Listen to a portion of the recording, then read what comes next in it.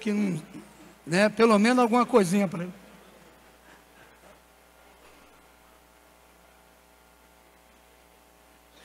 Pediram aqui para dar o tempo.